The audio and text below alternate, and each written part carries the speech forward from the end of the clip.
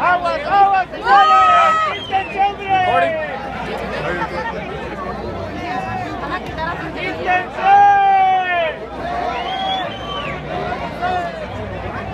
¿Cómo quieren que pasen los caballos? ¡Están atravesados, hombre!